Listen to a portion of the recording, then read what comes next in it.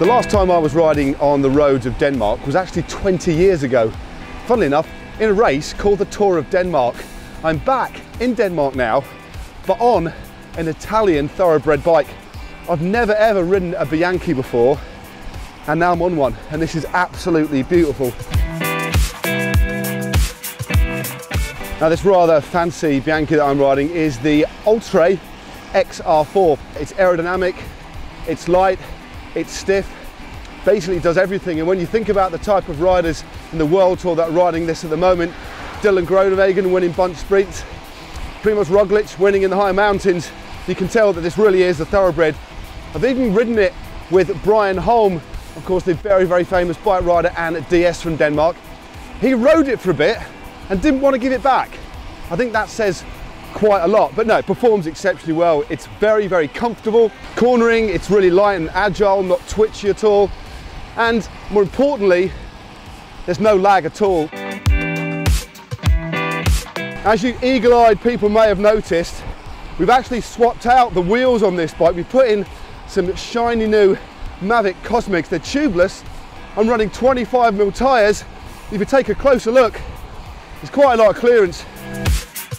So I've talked about the integrated bars and stem, which I really like actually. Takes a little bit of getting used to because it's totally flat, but once you get it dialed, it's actually very, very comfortable. And you don't get um, too much road noise coming through as well, which says a lot. A lot of integrated bars and stem these days, because there's hardly any flex at all, you do get a lot of road noise. But this, with uh, coupled with, of course, the countervail technology, you get quite a lot of the road noise that is absorbed. They're exceptionally stiff as well as you'd expect from a one piece. So when you do put the power through, and I must admit I can't put quite as much power through as when I used to, it's hardly any flex at all, if any. It really is stable. Nice width as well, all round comfort up front.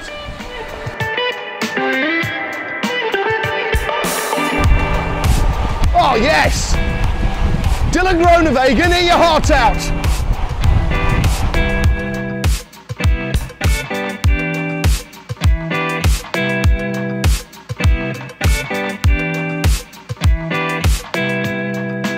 The Oltre XR4 is a seriously stiff and aerodynamic road frame with a couple of really nice features as well.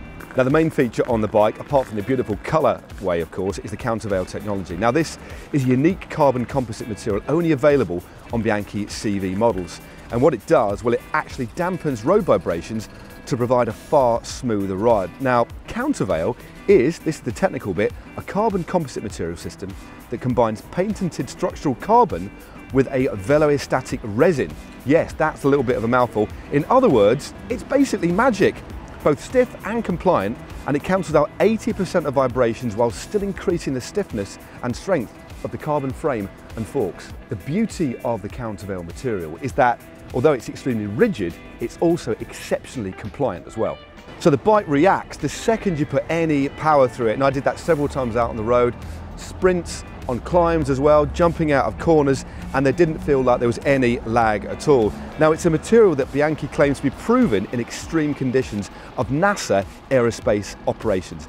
NASA, and that means space. Now, Bianchi have managed to combine a really racy geometry. I've got the stem pretty slammed there. It does feel very aggressive, but also they've got clearance for pretty wide tyres as well, running 25 mil tubeless Mavics on a quite a wide rim there. Uh, and of course, running tubeless, I can run a slightly lower pressure for more grip and more comfort. The group set we've gone for in this model is pretty much the sweet spot of Shimano group sets. It's Di2 Ultegra. Now basically, it's pretty much, well I would say, exactly the same performance, but at a far more lower price point. And the only penalty is a couple of hundred grams all the way across the group set. So exceptional value for money, 100% functionality compared to Dura-Ace. I love it.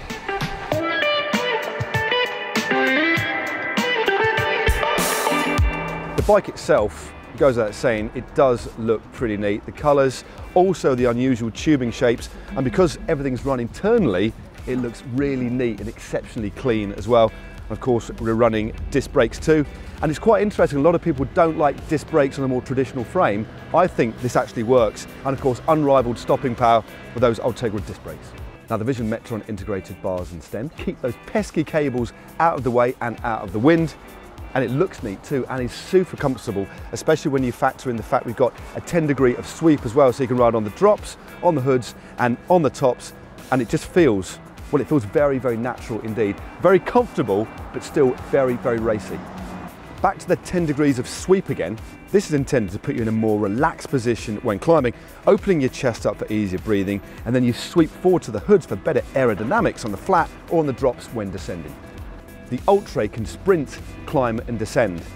And I can do well, maybe two of those. I certainly can't sprint very well. The bike can do that far better than me. But when you think about the riders that use this in the modern era, you've got Dylan Groenewegen sprinting on the Champs-Élysées to multiple stage wins in the Tour de France, and elsewhere. Wout van Aert battling it out in the classics, and then Primoz Roglic out climbing everybody to win the Vuelta. You can see why this bike really is a breed apart, even riding on the Danish bike lanes.